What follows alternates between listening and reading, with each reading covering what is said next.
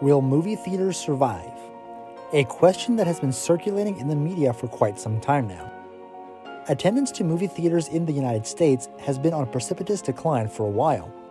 Even without problems posed by worldwide pandemics, theaters have been seeing less and less Americans going to them. After being asked this question by several of you, I decided to take a look in depth. This video contains statements from Dolby Laboratories, IMAX, and Studio Movie Grill on their futures in home entertainment and the future of movie theaters.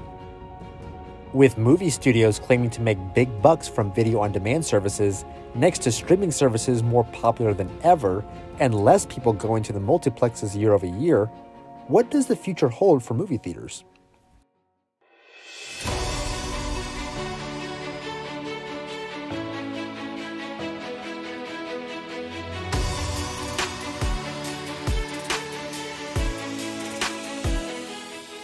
Hi, I'm Isaac, and this is Movie University.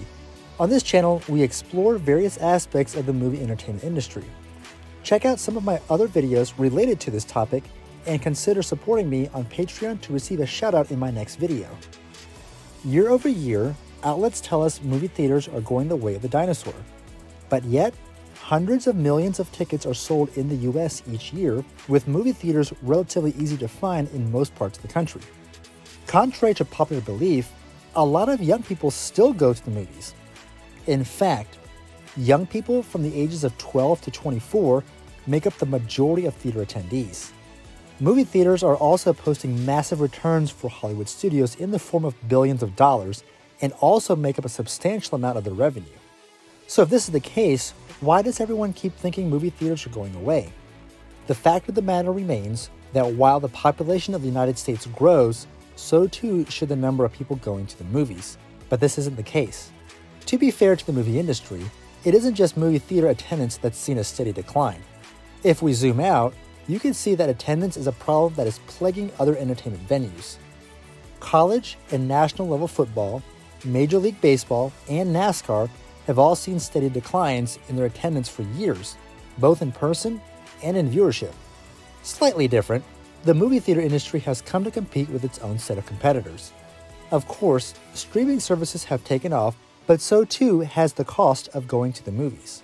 In July 2019, The Hollywood Reporter stated the average price of a movie ticket was $9.26, up 25 cents just six months prior, and up $1.76 a decade before. For comparison, the cost of subscribing to the base tiers of Disney Plus and Netflix is 7 and $8 a month, respectively. Streaming services have also come a long way in the last five years. 4K content is available on nearly every streaming service alongside surround sound and high dynamic range coloring to accompany it. TV quality has risen dramatically with the prices of TVs falling rapidly.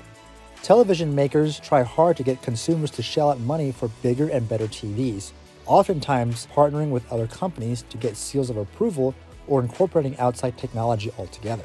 Chris Kuchel at Dolby Laboratories recently told Movie University that every TV sold with the Dolby Vision symbol on it contains Dolby's proprietary computer chips and allows the units to display images in Dolby Vision high dynamic range coloring, currently the industry's leading form of HDR.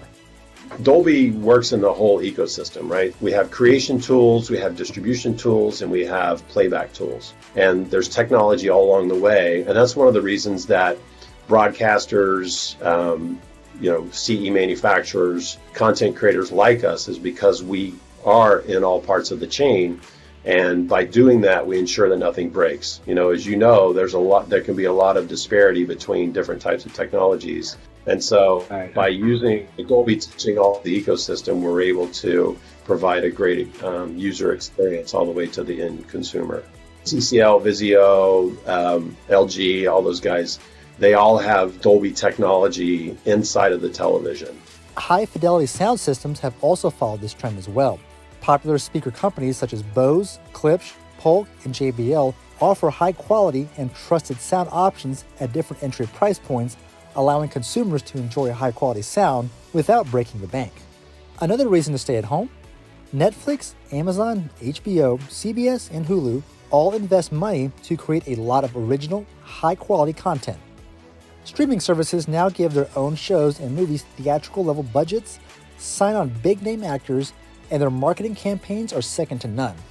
This can be seen in shows and movies such as Star Trek Discovery, The Mandalorian, The Crown, Stranger Things, Six Underground, Extraction, The Aeronauts, Jack Ryan, and The Man in High Castle. With such a wide variety of content to watch at home on high quality equipment, why would you pay $10 just in ticket prices to leave your home, spend time traveling while burning gas, buy snacks and drinks that are overpriced, with the possibility of having that annoying person who won't get off their phone during the movie.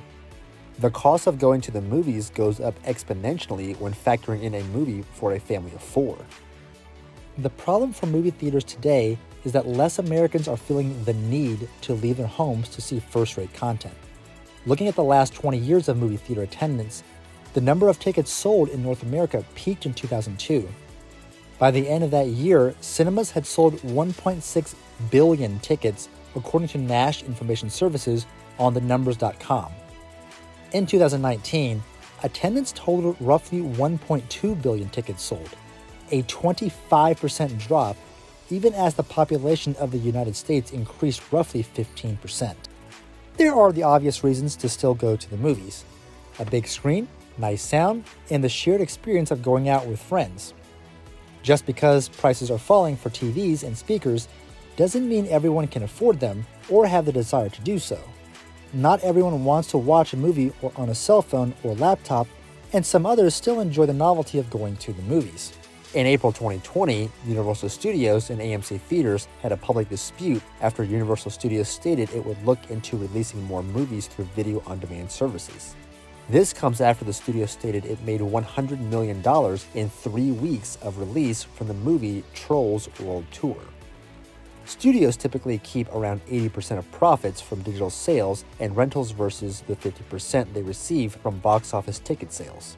Even after the success, Universal Studios' own internal polling of consumers showed 51% of people who rented the sequel said they would have definitely seen the movie in theaters. About one fifth said they rarely or never rent movies from digital services, according to the Wall Street Journal when looking at those numbers, don't forget that huge chunk of money movie studios still make from theatrical releases. Movie studios sure won't, hence why Warner Brothers and MGM pushed the release dates back for Wonder Woman and James Bond. Going to the movies still offers viewers the ability to see movies first before they hit streaming services. One company is optimistic about the future. Ted Lowe, the senior director of brand marketing at Studio Movie Grill, told Movie University that he believes we're living in the golden age of media. With so much content on so many platforms, it's really a viewer's paradise. We don't see that as a pivot from movie going to couch surfing, but rather an opportunity to create destinations and experiences for our guests. One way companies are trying to get you out of your home and into the theater is to give you a nicer viewing experience than a typical theater. You may have noticed in recent years that theater companies are rolling out premium theater formats.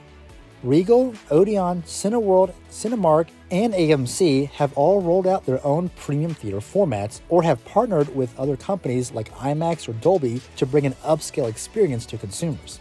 Smaller chains such as iPic, Alamo Drafthouse, and Studio Movie Grill have built their business strategies around specializing in a more upscale experience for consumers altogether. These smaller premium theater chains offer food delivered to your seat, alcoholic beverages, auditoriums featuring wide, plush, reclining leather seats with name brand sound systems and projectors. There is also something to be said about the novelty and experience of going to the movies on occasion.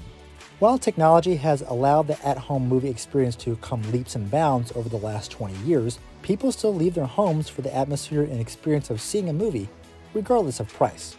We still have stage plays to this day, even though everyone who purchases tickets can see the same storyline from the comfort of their living room. Arguably, this scene from Avengers Endgame wouldn't have been as powerful at home as it would have been in a theater, judging from the reaction from the crowd.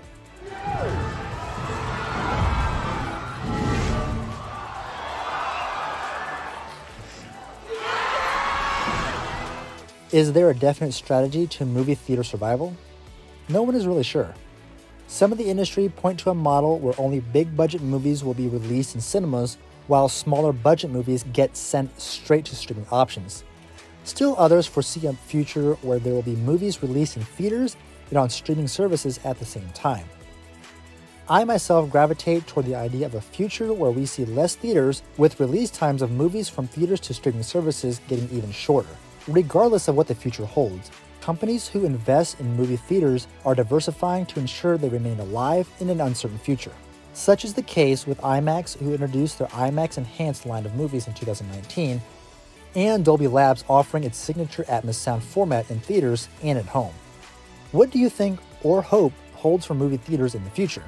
Let me know in the comment section below and consider subscribing and supporting me on Patreon or PayPal. This is Movie University, education in cinema.